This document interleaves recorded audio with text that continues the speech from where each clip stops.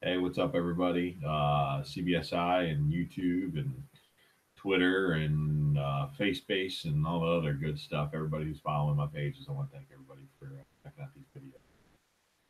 Give me a like and a follow, and Instagram now too. Added to the mix. I got I got myself an Instagram account. Uh, the success of Koi Cakes has inspired me to open up an Instagram account uh, related to comic books. So if you guys uh, are down for following me, uh, it's Ultra Maximus, but the L is a number one.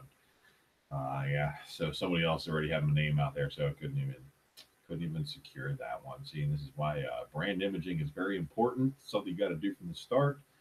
But I wasn't really trying to make this a brand. It was just video gamer tag, but anyway, uh, yeah, I got myself a little sweet little headset here, and uh, now I get to listen to, to podcasts in, pretty good sound quality, and also have myself a nice little microphone now. So hopefully everybody can hear me loud and clear. I know my videos kind of sucked in the past as far as the sound quality.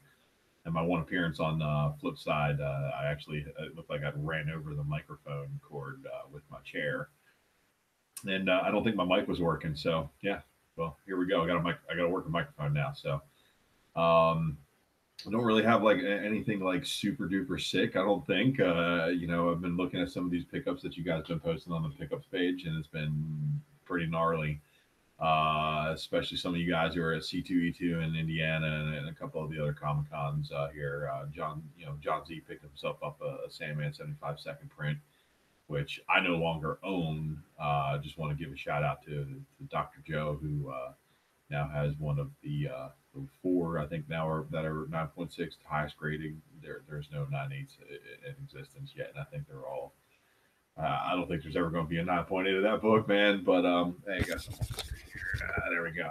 Um, but anyway, so yeah, I got a I got a couple stacks of books. You know, uh, started out with um, you know some of the some people saying this is their letdown, but uh, I didn't didn't mind the finale to Dark Nights Metal. I thought it was kind of uh, kind of throwback nostalgic, have it end uh, the way it did. But I picked up just a regular cover of this one. I'm not really into chasing down any of the, the crazy variants for it because, God, you know, some of the store variants are starting. I, I, I, I, am very, very choosy about which store variants I, I chase after. So, um, but this year, definitely a decent looking uh, story ending finale. Uh, I don't know how you guys feel about metal. Um, for me, I thought it was just kind of not as good as I thought it was going to be.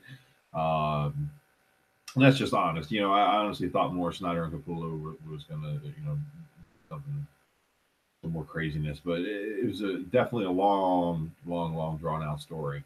Um, all the tie-ins and things like that too tend to make it that way. But you know what? They, they had a very good, uh, very good basis for a lot of the characters that they used, and I, I think some of the you know the, the long-lasting ones like the Batman flats and things like that um, you, you know, it's going to have its takeaways. It's it's definitely you know a big major piece of DC canon now. So uh, unless they retcon it somehow again in the future with another Infinite Crisis or or whatever, but yeah. Um, the the Hall of Justice thing uh, I think is kind of cool. The DC universe uh, kind of I think needs to centralize their stories, which is why I think Marvel's doing their their fresh start. But we'll we'll get into the Marvel stack here in, in a little bit. Um, but you know, regular covers for that. But for Wonder Woman, of course, Jenny Frison uh, variant covers. I, I, think her. I think I heard a rumor that her variant covers are coming to an end, which would be a very stupid thing for DC. I think, but don't quote me on that. Um, but yeah, uh, you know, I'm always picking up the Frison books, and, and of course, uh, the whole deal going on with Wonder Woman right now, with it being, you know, ties to her brother uh, I don't know if you guys are reading it enough to to catch all that stuff that's going on in there. It's good stuff. Um, so yeah, you know, actually, I'm chasing down a, a better condition copy of the variant for uh, Superman number uh, 43 here.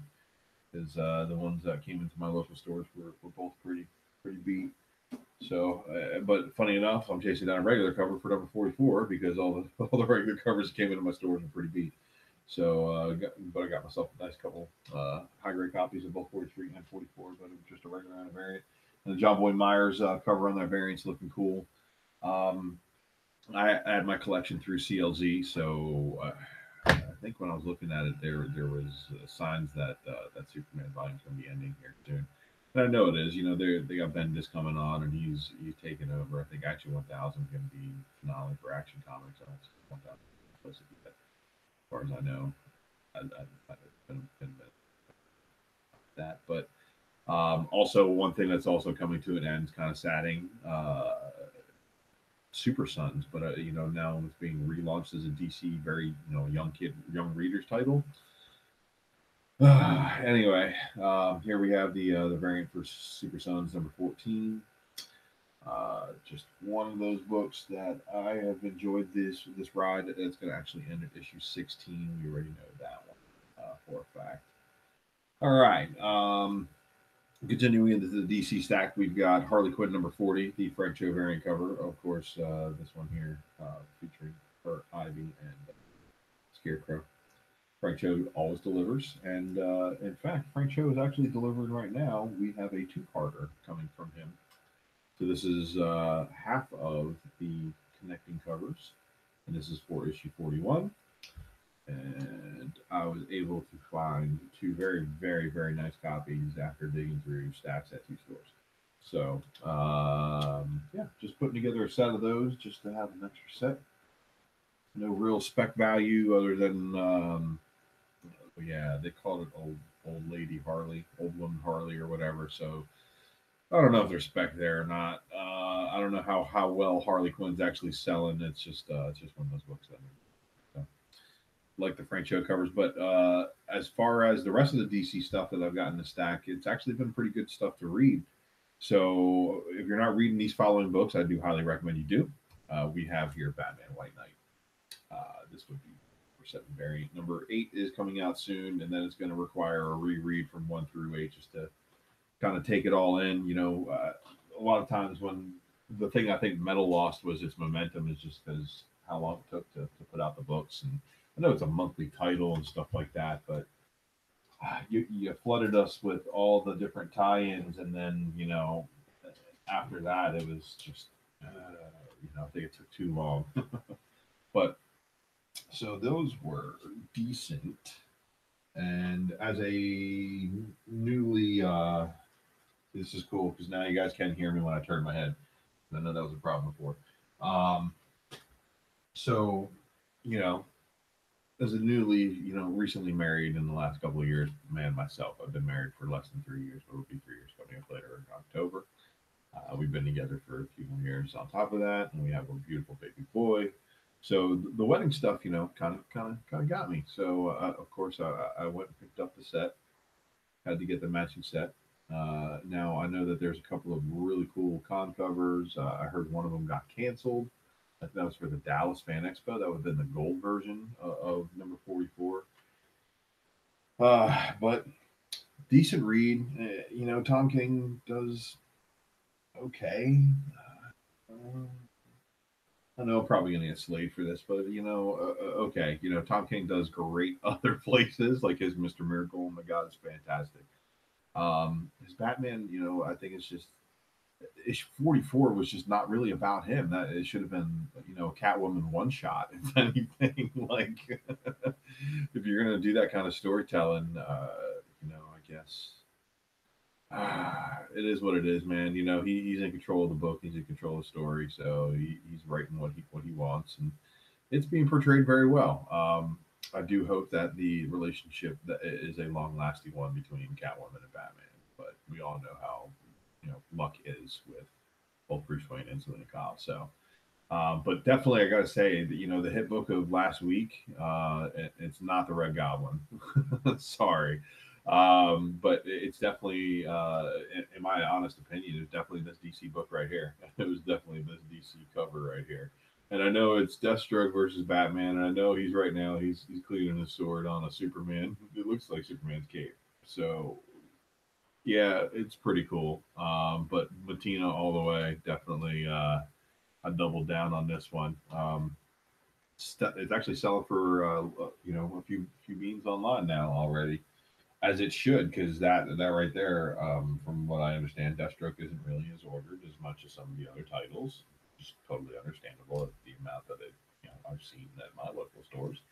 Um, but it does have a cult following, and then you add in the Mattina collector factor, which Mattina had a lot of books actually drop in the last couple of weeks. Um, yeah, and you know, it just makes desire. so you know, his books are definitely desired.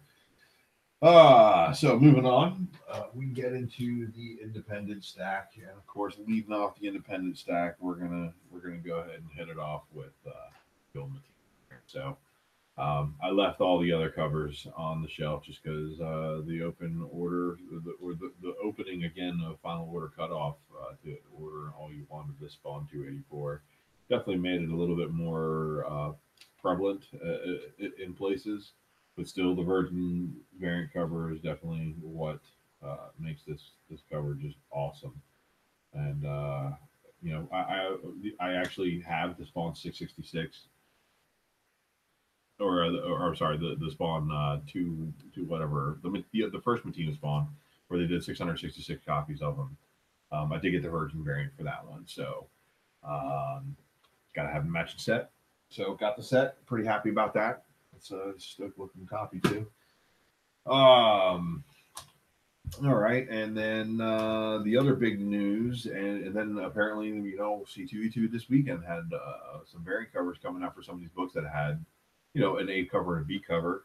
But this is apparently the uh, the big hit out of Image. Uh, it's kind of like a fantasy book, so uh, like Monstress, in my opinion, Monstress definitely reminds me a lot of that Final Fantasy type of uh, you know fantasy storytelling scenarios.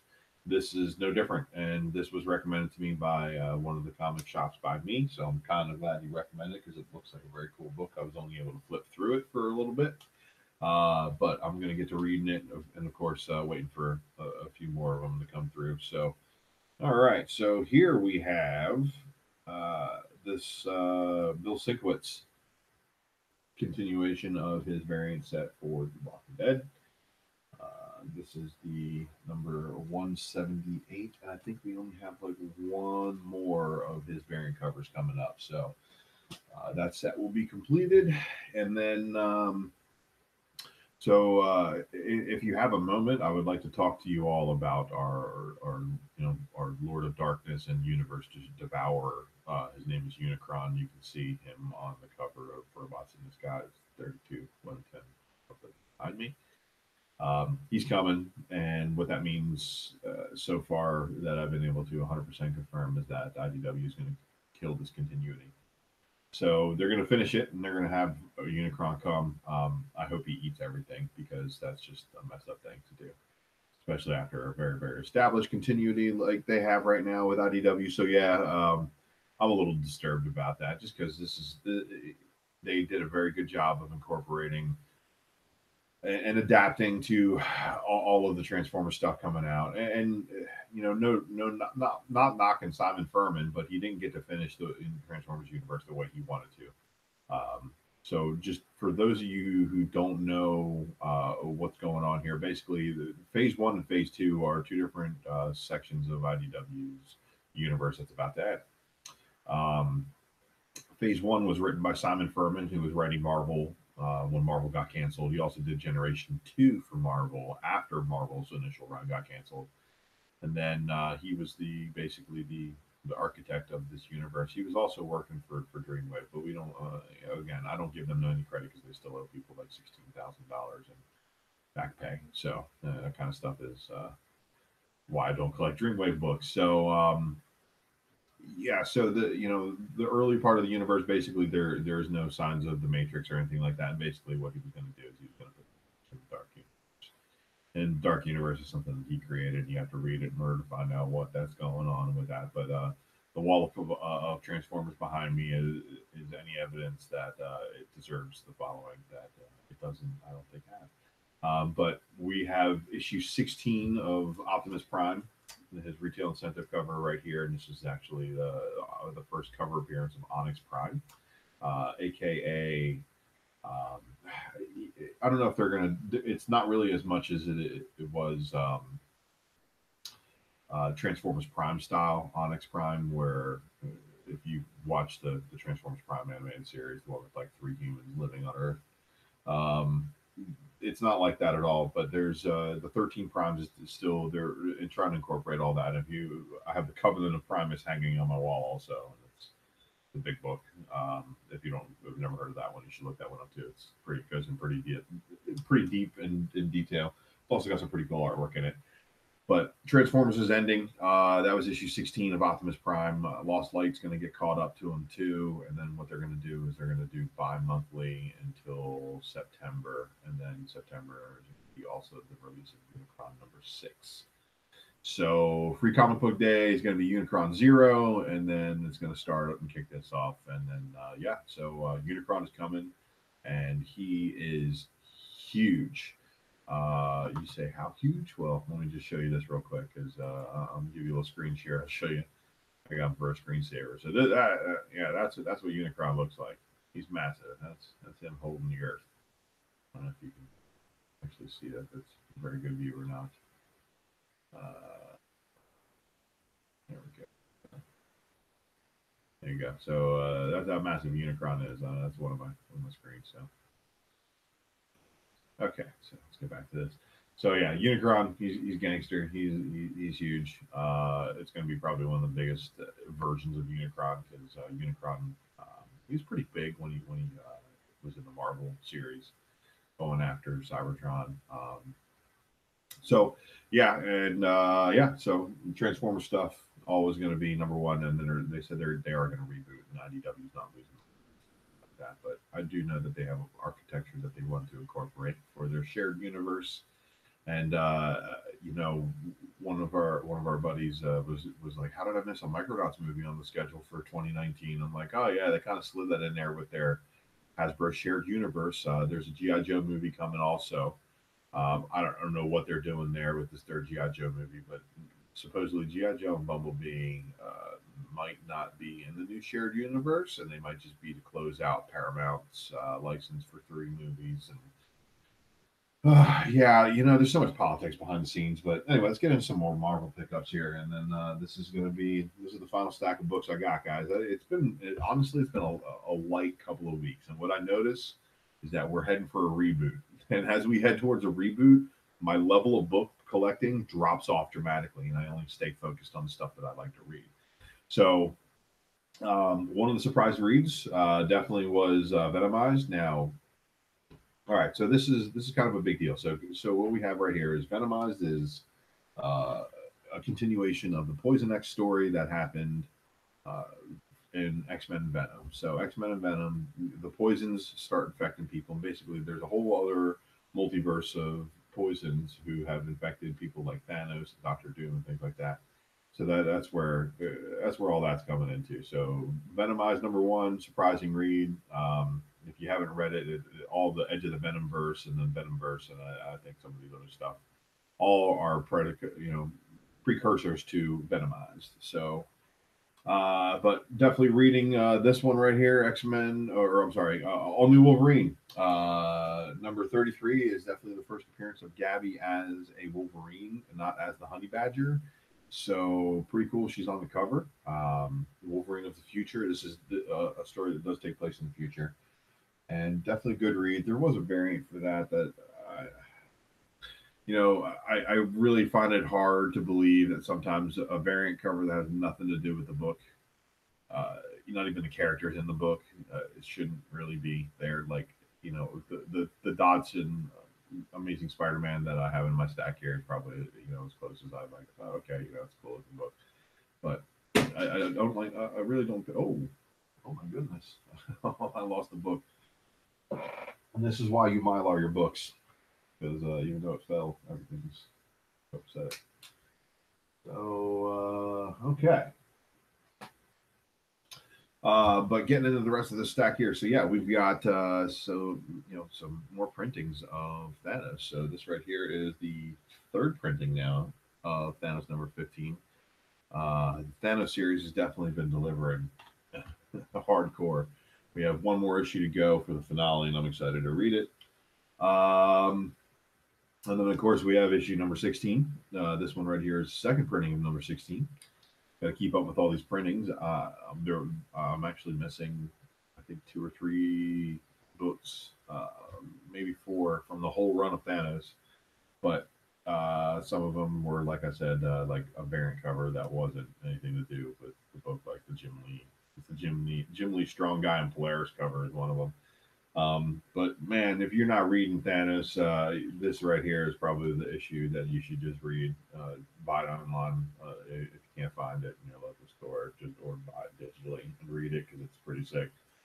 And then that, as soon as you do that, you'll go back and you'll read all the rest of the Thanos books, which is nothing, you know, nothing to be ashamed of. But of course, um, now myself varying for cover price too, and, and that right there, it was all the difference because I had one of my stores uh, you know, I, I, I understand people wanting to make money on the market when they see the market moving, but man, one of my stores slid that book into my into my full box that I you know I've had on pre-order.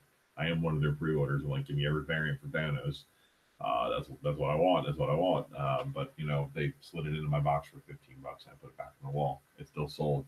So, but I nabbed one for cover price at the other store, thankfully. Um, but uh, there is also the uh, store variant for that one. I did not pick that one up. As much as I want to, uh, I don't think I'm probably to store variant. But um, so coming up, we have Cable. Uh, this Stegman variant is definitely a follow up to his Thor, Mighty Thor variant cover that he did. Um, I bought a couple of covers, bought a couple of copies of that cover, and uh, unfortunately, they, they all they, they didn't really hit uh, where I needed them to hit. So it, it's fine though. Um, the uh, cable right here, though, happens to be a first appearance of a new villain, and it's also precursor to a big story that's coming up, and the return of Hope Summers, uh, right around the same time that we have a new movie coming out. I, I just don't, I don't understand it, but uh, yep, this is definitely one of the reasons why I definitely picked up two copies of this book. Uh, it's actually selling pretty well. It's actually uh, they are correct. It, cable doesn't sell very much. I don't know why.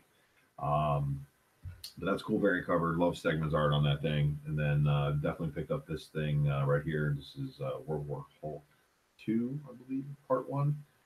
So uh, this is definitely a little bit of a homage variant right here. Good stuff.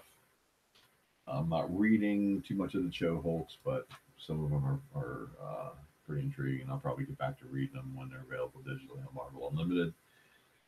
Um, Iron Man, Hong Kong Heroes. We do have the first appearance of another person who donned some Iron Man armor. So uh, I definitely picked up the cover that had her on it, and uh, picked up a, lot of the copies that I saw in the store had really twisted up spines. So uh, it, it, took took a lot to find us a little good one uh, here. So um, this course right here, Mighty Thor 705, 706, I believe, is dropping uh, next week. Uh, if it hasn't dropped already, but um, this good read, of course, uh, watching Jane Foster, and they are finishing her run with her as Thor. So uh, we also got here Moon Girl. Thankfully, my local comic shop pulled this one off for me. So I, I it was definitely a late ad, uh, and it was definitely a, a, sweet enough copy for me to continue on with it. So I want to give uh, a thanks to them. And then uh, speaking of the, the the whole poison thing, so I, sh- I started off the Marvel stack here with the Venomverse one, right? Um, well, Venom number 164 did have a Venom versus Poison variant cover that's black and white. So you want to talk about tough 9.8? I dug through a stack of these. Uh, it wasn't a very big stack. It was only, it was definitely, I think, less than 10 copies. So, um, trying to find a good one for the, personal collection just because I have a feeling about the reception of the poisons and the possibility of them.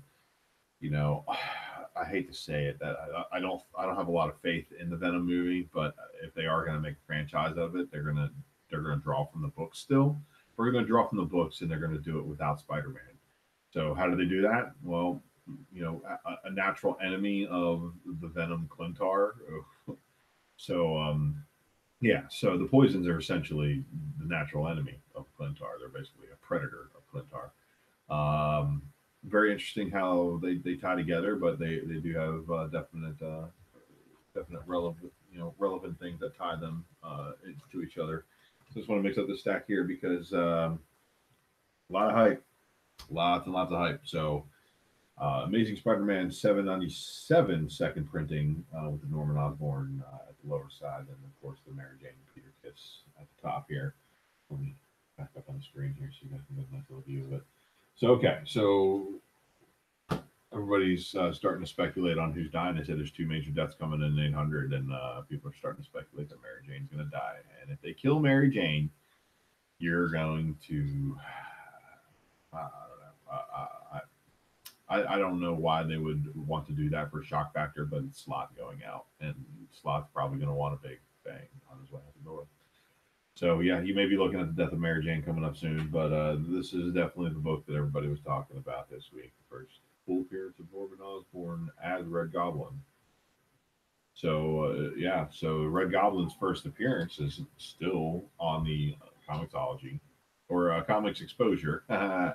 uh, Amazing Spider-Man 796 uh, variant cover. So if you're chasing the first appearance of that character, that's where it is. Uh, store variant that that you know predates the other issue by a month. So 797 had the design variant by um, uh, I think it might have been McGinnis. Um, but either way, so it doesn't matter what 797 store variants have, including the red Hobgoblin one. You know, homage back to the Hobgoblin. Um, yeah, you know, talk about that. That one was an issue too late. So, as I was talking about different variants, you know, the percentile variants, the Venom 30th anniversary variants have been kind of cool, and I picked up the one for Venom just because it's Venom versus Poison. I think it's a very fitting thing, especially what's going on. Um, with the Venomverse books, and then of course here we have uh, this throwback to the, the, you know the time frame from Amazing Spider-Man 300 when Venom you know was basically in there and he, he went in there and tried to hurt Mary Jane. Where I'm pretty sure he did hurt her, so uh, shame on him because uh, Venom was a villain back then, and now he's all of a sudden he's an anti-hero, and that's why everybody's pushing for Tom Hardy.